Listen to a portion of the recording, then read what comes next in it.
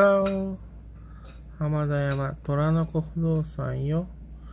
今日はね、えパチスロ業界の話、6号機と呼ばれる機種が導入されてますと。えー、6号機では1回の連続して最大デラマが2400枚となってます。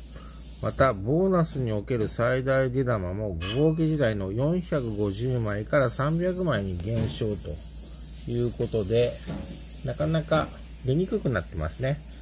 えー、6号機では、ただ、1台あたりの純枚については5号機の最大純増が2枚だったのが6号機では制限がなくなってます。つまり短い時間で多くの出玉を獲得できる可能性が高まっているということですね。